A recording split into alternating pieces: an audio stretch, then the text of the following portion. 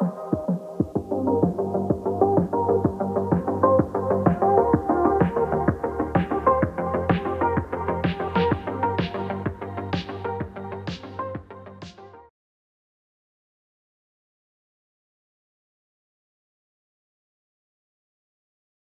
What is up, guys? Welcome to another Behind the Curve Reacts. Uh, as always, if you enjoy what I'm doing here on the channel, feel free to like, comment, and subscribe down below.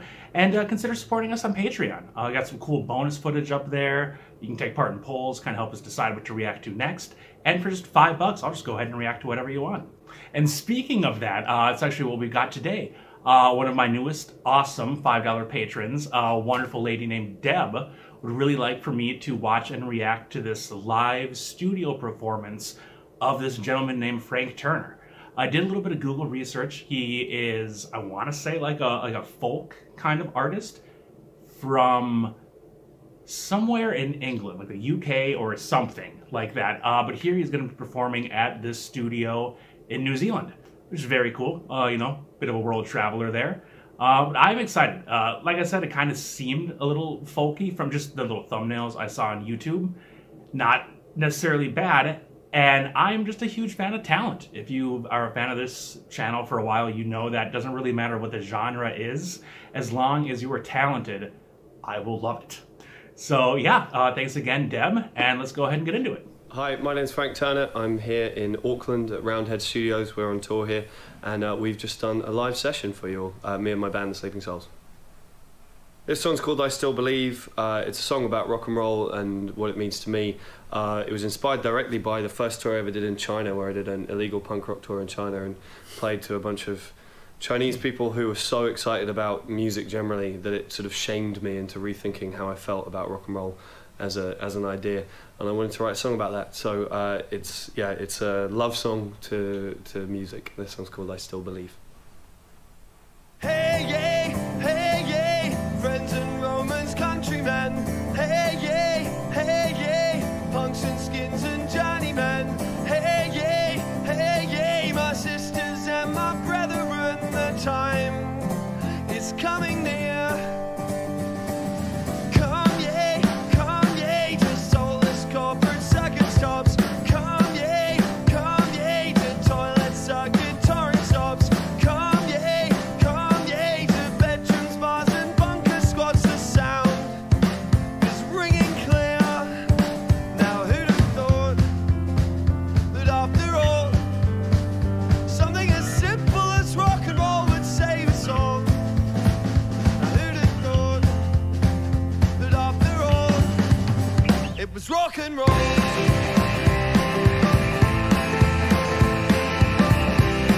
piano.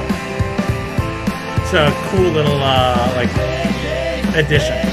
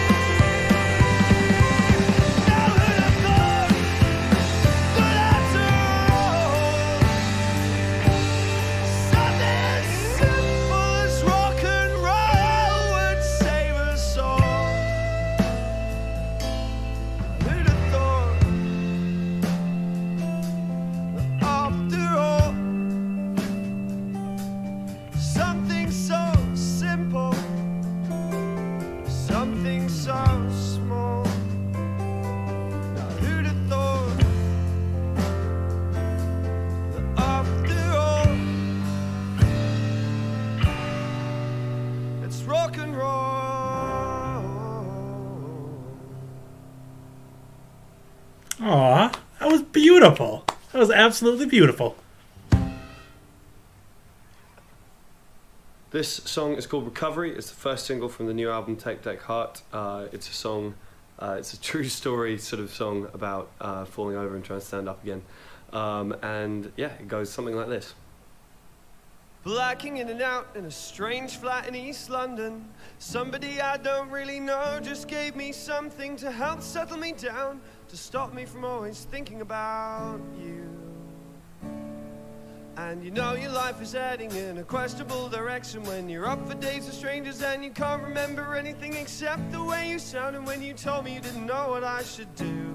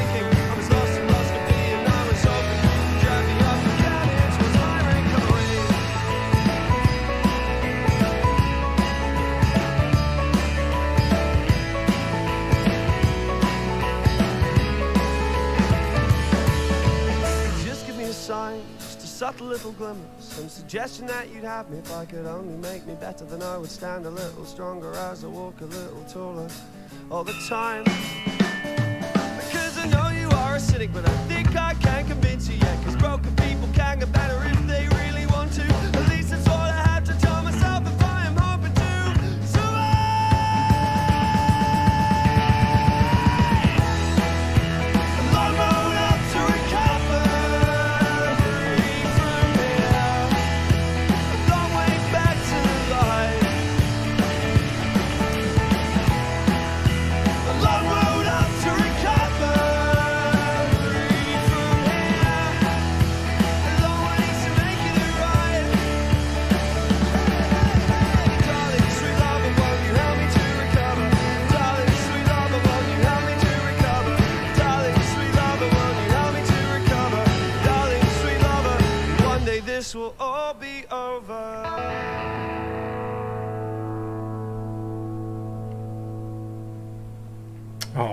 was really powerful.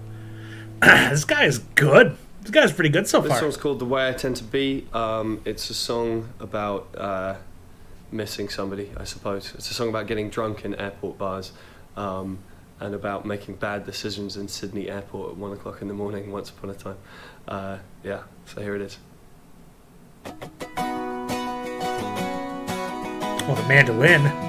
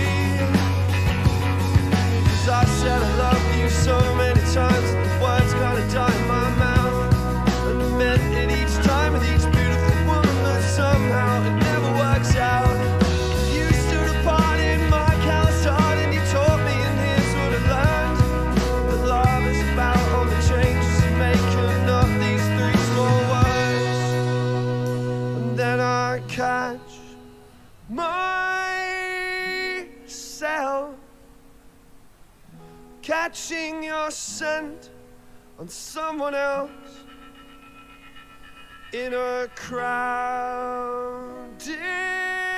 space, and it takes me somewhere I could not quite place.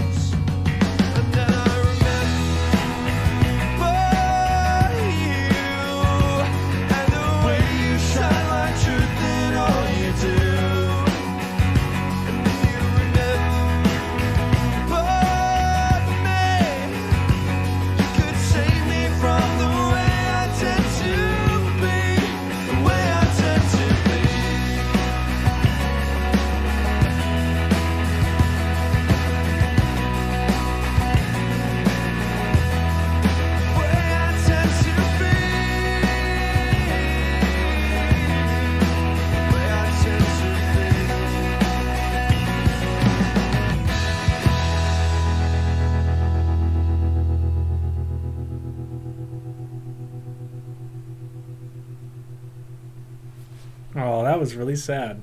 That was a really sad song. oh, what the fuck?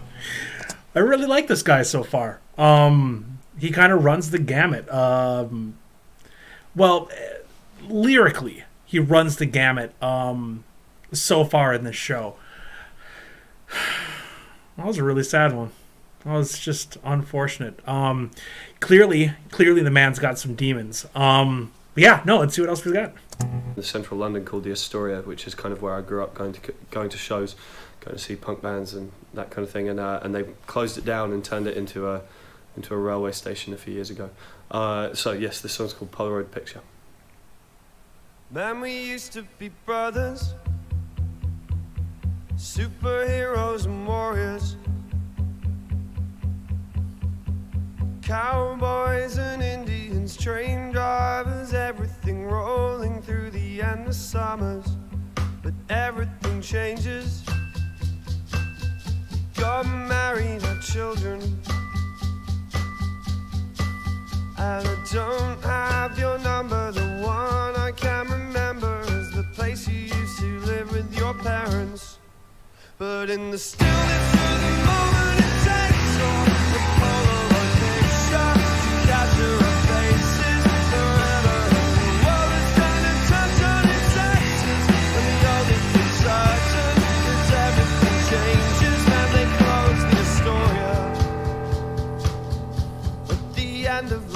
summer.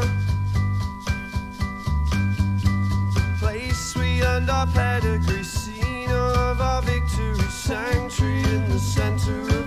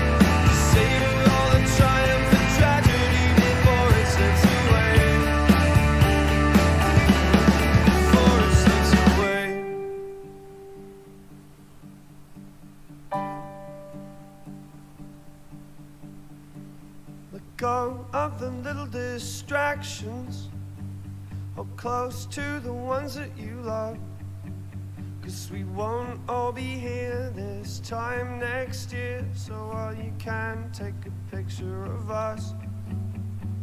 Let go of the little distractions.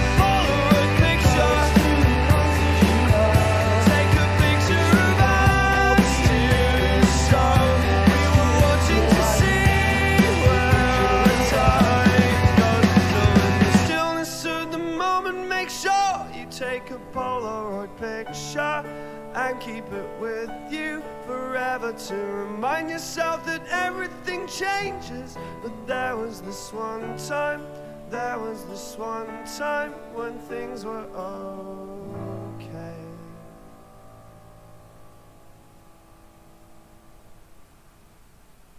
This is an old song. This song's called The uh-huh. Road. It's a song about traveling uh, and about keeping moving and gathering no moss and all that kind of thing. And uh, for the music video, the original music video for this song, I played 24 gigs in 24 hours which is one of the most murderous things I've ever done in my life. What? And I never ever want to do it again.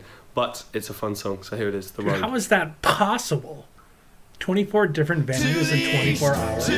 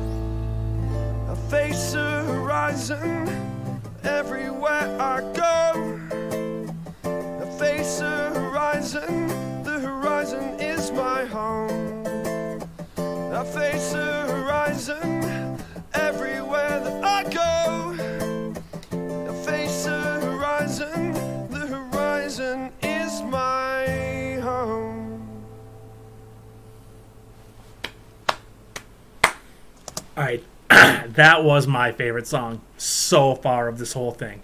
Uh, that had everything. I loved the little instrumental breakdown too halfway through it because, from what I've been hearing so far, he's definitely more of like a lyric driven um, uh, kind of uh, performer uh, versus instrumentation, which is awesome, which is great. Uh, but it was really kind of refreshing just to, to hear that nice, awesome breakdown there. Um, and that one line really uh, stuck in my head. What the hell was it? Um, it's like uh, uh, when you stay in one place, you've given up on the chase. Um, I don't know why, but that really really struck a chord with me. Oh, I wish I could travel. Oh, Corona. Hmm. All right, yeah, that so far number one song. Oh my god, that was wonderful. This song's called Cowboy Chords. Uh, it's a song that was written for the new album Tape Deck Heart, but which didn't quite make the album proper. It's on the deluxe version. Picking which tracks go where was agonizing. Uh, I wrote this song very in about 20 minutes on a tour bus somewhere in Germany, um, and uh, this particular arrangement features Matt Nasir on the mandolin as well. A sucker for the mandolin.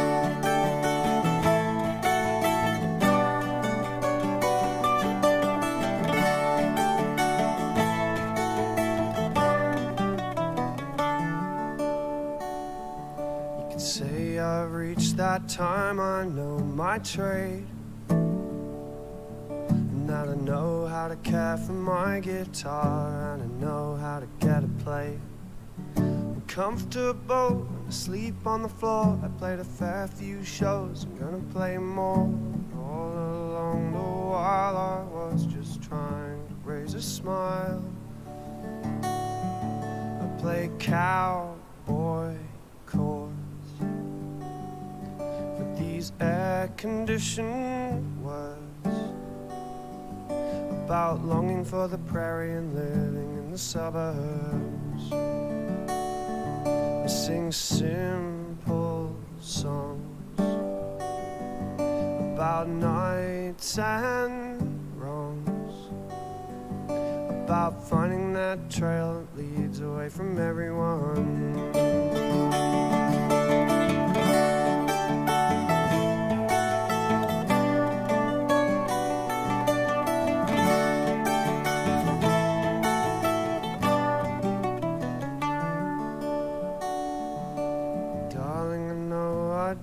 Not give you much.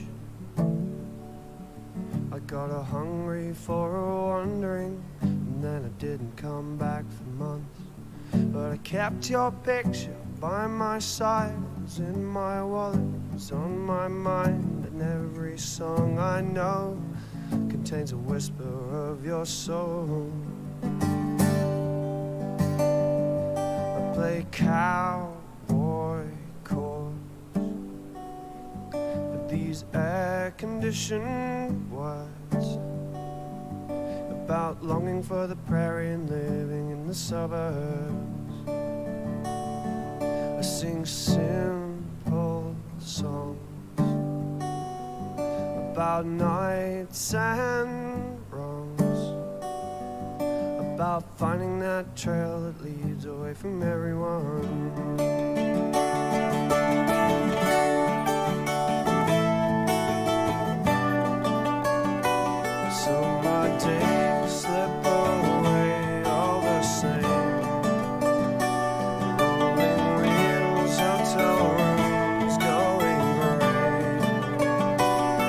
Casting glasses on my shoulder as I go.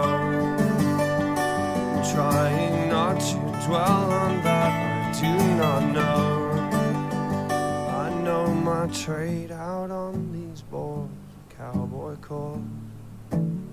I know my trade out on these boards, cowboy chords. I know my trade out on these boards, cowboy chords. I know my trade out on these boards, with cowboy chords.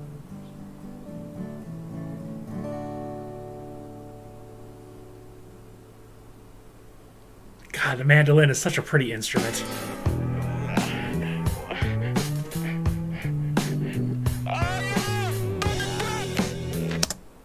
Wow. Wow. That guy's got some skills. Um damn, let's let let's uh let's go big here and uh, unpack uh, unpack what we just saw. Wow. Frank Turner.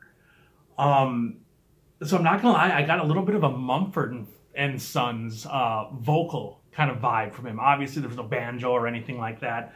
Um, but man, those guys, that guy's lyrics were awesome. Those were very, very powerful lyrics. And I gotta say, I absolutely loved the drummer. The rhythm section, oh, he was great. He brought those songs like to life. Obviously, Frank did with, you know, the lyrics and the uh and the guitar, but the drums are so important. Uh, especially in a band kind of like that, uh, that kind of driving force in the more upbeat songs, like the first couple, and then the uh, the one about the road, um, the one that I really, really, really liked. Um, but yeah, that guy, that was really good. The was really good and very different to the things that I normally listen to. Um, and it was cool that this can uh, this concert kind of like ran the gamut in terms of they weren't all songs that sounded the exact same, which is really cool. Uh, so I always worry about listening to a new artist, you know, what I've never heard before. I'm like, oh, you know, that first song was good, but are they all going to sound the exact same and then get tired after a while? And he didn't, which was really, really, really cool and really, um, really refreshing. But yeah, that guy, I'm definitely to have to uh, to listen to more of his stuff. Uh, has he has he been around for a while? Has he done like a lot of stuff? Um, please, you know, let me know down in the comments because I would definitely be interested in checking out. Um, a few more of his stuff. Um, I, his slower stuff, it was really good. Um, it's not quite my kind of music. I like kind of not necessarily faster music, but music that's kind of got more uh, more pace to it, maybe a little bit more upbeat, uh, if that makes sense to you. Um, but that being said, even the slow, sad ones, like the one about the uh, kind of losing uh, losing the girl, was slow and was really really sad, uh, but was still really good. So I don't know. I'm conflicted, but I I loved it. That was really good. Uh, if you guys really liked it, let me know. Let me know what your favorites were uh, down in the comments. And yeah, I will see you uh, in the next reaction. Thank you so much for coming out.